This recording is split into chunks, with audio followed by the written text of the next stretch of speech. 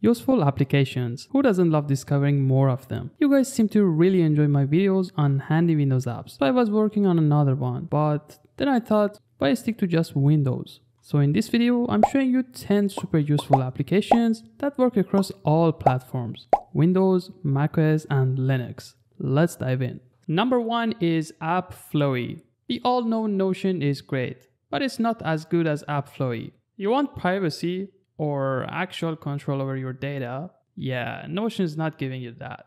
So after installing and signing in, which is not forced, you'll see this page, which is kind of tutorial and the pre-made templates. You can play around with these texts here to get used to AppFlowy and change the cover color by clicking here. Then set it from these sources or remove it. It starts with an icon. You can replace it with an emoji or upload your own. It basically works with blocks. To start, just insert a slash and now you have access to all AppFlowy tools and text edits.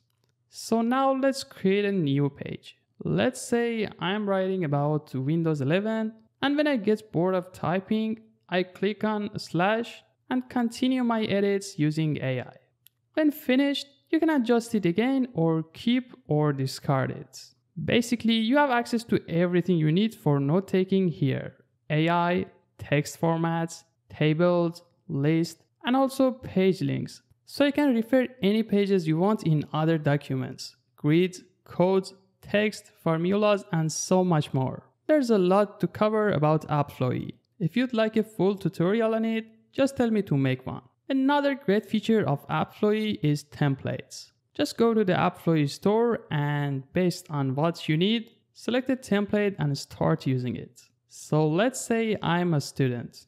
I click on education and the pre-made templates appear. You just click on one and start using it. The free plan of AppFlowy works great and includes one collaborative workspace, which lets you to use up to two members on it, unlimited pages and blocks, 5 gigabytes of storage, intelligent search, 10 AI responses, 2 AI images, and using mobile app which is awesome. There's a real-time collaboration, so you have access to all essential features, but if you want more, you can either upgrade to the pro plan or self-host it yourself. And it's open source with a huge community, so it's growing fast. If you care about privacy, flexibility, and long-term control, AppFlowy should replace Notion on your machine yesterday. Number two is RustDesk. Look, remote desktop apps are either expensive, invasive, or both. TeamViewer is a bit bloated and AnyDesk is getting sketchy. So if you're tired of trusting your screen and your files to a mastery server in the cloud, it's time to take control with RustDesk. Connecting to a PC is super easy. Whenever you open the app on the device you want to connect to, it gives you an ID. All you need to do is to enter that ID on your PC and accept the connection. On the client app, you can set which permissions the connected device will have. Keyboard and mouse control, clipboard access, audio, copy and paste, remote start, and even session recording. Once connected, as you can see, I can fully control my Linux laptop from my PC. Now that you're connected, go to display settings and set the screen to adaptive for full screen mode. You can also adjust quality and codec based on your network and CPU power. One feature I really like is the built-in chat and voice call. It's genuinely helpful when something's wrong and you need to clear communication, especially with headphones connected to your PC. At the top of the screen, you've got a toolbar that you can pin. In the actions section, you can set a password and do all sort of things like transfer files, view the camera, use TCP tunnels, switch control sides, or take screenshot. It's super useful. After each session, you can mark the device as a favorite or create an account to autosave your connected devices to the cloud. That way, you can access them from any devices anywhere. And as I mentioned, you can even record the session. Great for when you're doing a tutorial to your clients. This is the open source remote desktop tool that actually puts you in charge. Think of it as a private, self-hosted TeamViewer replacement you didn't know you needed. There's nothing much in the settings, but if you want a full video on how RustDesk works, tell me in the comments. Number 3 is Anki. If you've ever tried to cram for an exam or memorize literally anything, chances are someone shouted you, you need Anki, and they were 100% right. Anki isn't just a flashcard app. It's a memory weapon and it's so good at what it does. You can learn a new language, study for medical or law exams, memorize names and faces, brush up on geography, master long poems, and even practice guitar chords. It uses spaced repetition, basically a brain hacking technique that shows you stuff right before you're about to forget it. That means you spend less time reviewing what you already know and more time fixing what you don't. So when you open it for the first time, it might look a little complicated. But don't worry. To get started, you need to create a deck, which means a category of flashcards. And now click on add. Now just write the content for the front and back of the flashcard. You can do pretty much everything here. For example, I write car on the front and then add a screenshot of a car to make it easier to understand. You can perform almost any text operations, record voice, and even add equations. Let's say I'm learning Turkish. On the front, I'll show car in English with an image, and on the back, I'll write Turkish translation. Once your car is ready, go to Tools, select Study Deck, choose the one you created, and you're good to go. English, other languages, and specific subjects, there's a ton available. This tool is also super helpful for teachers who want to create courses on any subject. They can track learners' progress easily. It's open source, available on all platforms, and supports for account sync. So your flashcards stay updated across PC and mobile. No matter where you are, you can keep learning. It's packed with features I can't cover all in the video, so if you want a full walkthrough, just let me know in the comments. Number 4 is PDF Gear. This one's pretty much a lot asked, and to be honest, most PDF editors are either ripped from 2009, stuffed with ads, or pretend to be free until you hit that export button and surprise, it's paywall time. PDF Gear flips that narrative completely.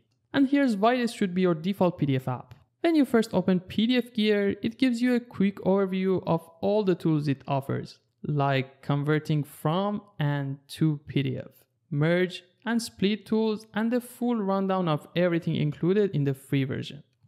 Let's see it in action. I'll open a file and show you how it works. Once the file is open, you'll see options to print, change the zoom level, and adjust the page view single, double, or continuous. You can also enable auto scroll or switch to slideshow mode for presentations. There's a screenshot tool and an OCR feature that works really well. In the comment section, you can highlight, underline, strike through, add shapes, or insert text boxes. And in the edit section, you can edit text and objects, add or remove images and links, insert or remove watermarks, and add headers and footers. The pages section gives you an overview of all the pages in your document. Great for quick navigation. One standout feature which I haven't seen for free anywhere else is chat with PDF. For example, I uploaded a PDF about my YouTube channel and selected the prompt summarize this PDF. It instantly generated a summary preview of the file. Super fast and seriously useful. Perfect for projects, studying, or work. On the left panel, you've got access to bookmarks, page thumbnails, and comments. Once you're done editing, just hit Ctrl plus S to save and boom, you're done. PDF Gear works on Windows, Mac, iOS, and Android with no account needed. Unlike most so-called free tools, PDF Gear doesn't restrict features or shove annoying ads in your face. If you handle even one PDF a month, this one's a no-brainer. Number 5 is Zen. It's a privacy-focused open source browser built with a clean modern UI and a focus on productivity. Think of it as your browser but calm. Here's what makes it stand out. Zen browser is a sleek, full-featured browser built on Firefox. So if you're already using Firefox, you can switch over it easily. It supports all Firefox extensions, making the transition seamless.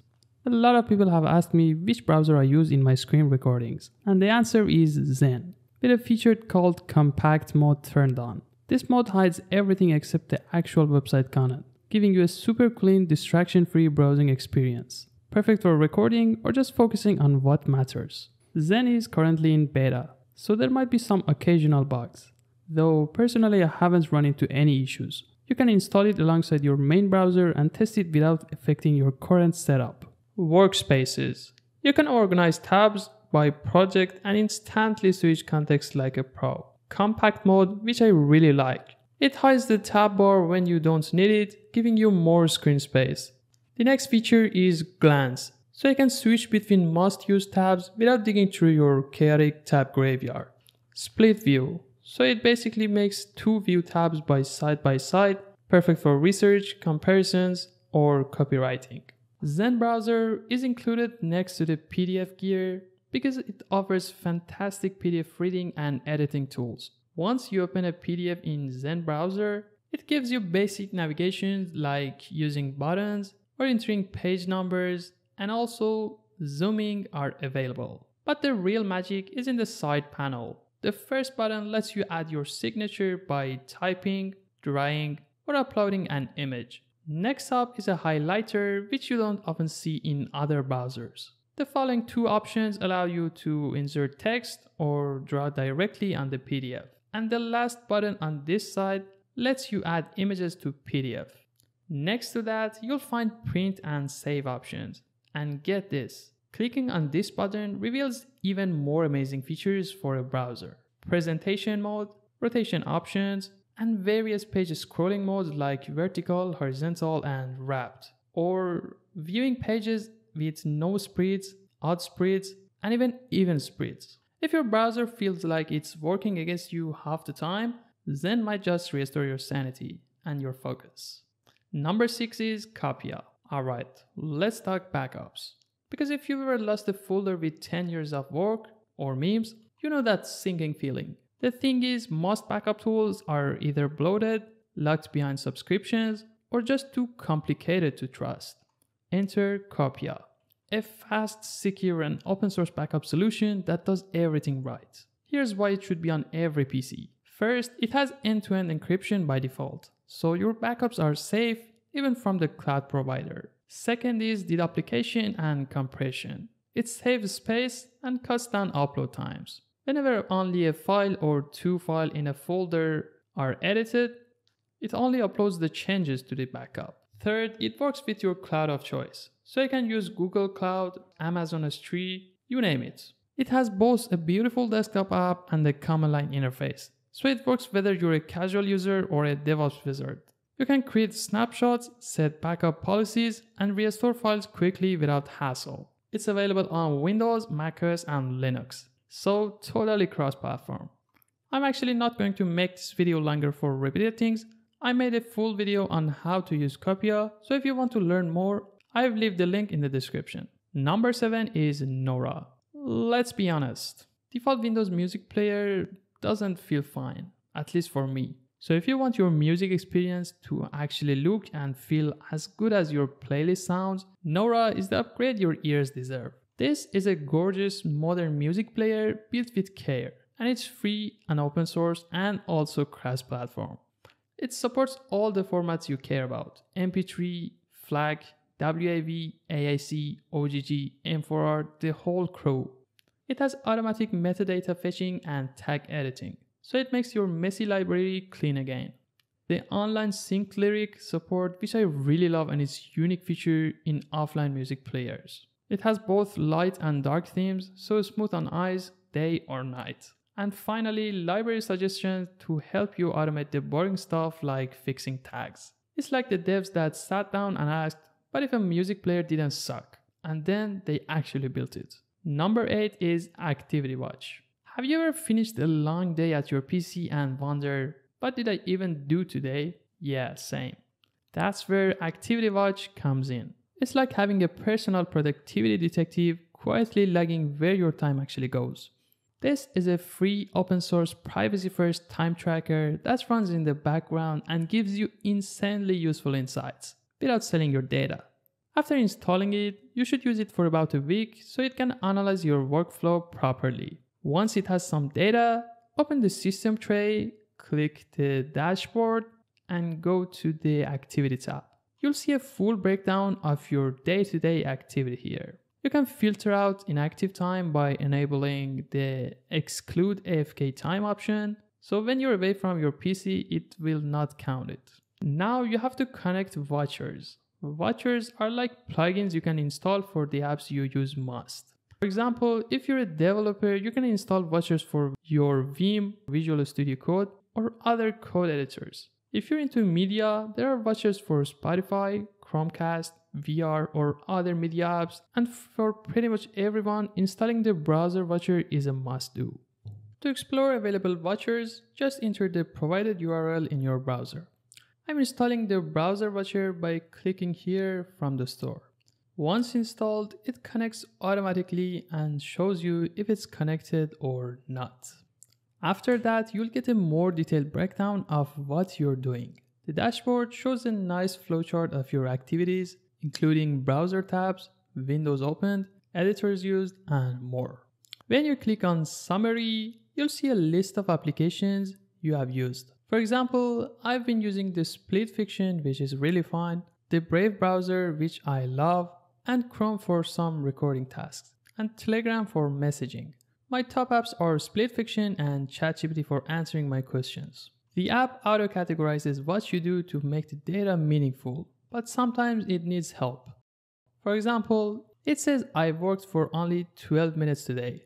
Definitely not accurate. So I should adjust the categories manually. In the category section, you can see which activities are uncategorized, which are media related, social, or work related. You can manually define what counts as work and what counts as entertainment in the Settings tab. It even has a stopwatch feature for tracking time spent on a specific task or project. The app is completely free. One thing that I use often is dark mode, which you can toggle on in settings. That's about it. It works across Windows, Linux, and macOS. And most importantly, all your data stays local. No cloud sync unless you want it and no creepy analytics. ActivityWatch is like rescue time but ethical and totally under your control. Number 9 is SquirrelDisk. If your PC ever screamed low disk space and you had no idea where it all went, this app is for you. SquirrelDisk is the tool you wish you had earlier. So when launching it, you first see an overview of your drives. Click on any drive you want to scan and you'll get a beautiful circular storage overview. By clicking on any folder, it shows you its contents. Let's say a particular folder is taking up a lot of space on your drive. Just drag it here and delete it. To preview any files before deleting them, just click on them. Each circle in the first row represents a main folder in a drive. In the following rows, you see items and folders inside those folders, making it easy to visualize, something Linux users are familiar with. It's free, open source, and it makes cleaning up your drives so much easy. And it's under 10 megabytes. No fluff, no nonsense. If you want a cleaner system without digging through the file explorer, Squirrel Disk is your cleanup crew in a click. And finally, number 10 is Converter Now. Conversion may sound easy at the first glance, but if you do a bit more juggling with numbers, it can really mess with your mind. That's why you need an application that does it for you easily. Converter Now does it all. It's super fast and clean. Using Converter Now, you can convert length, area, volume, currencies, time, temperature, speed, force, fuel, consumption, and a lot more. It's fast, minimal, and as you can see, just works with the second you start typing. This is a cross-platform open source unit converter that's built for real people not ad revenue. So why it deserves a permanent spot on your PC? It's fully customizable, so you can reorder and prioritize units you actually use. It includes a built-in calculator, so you can do math mid-conversion, yes.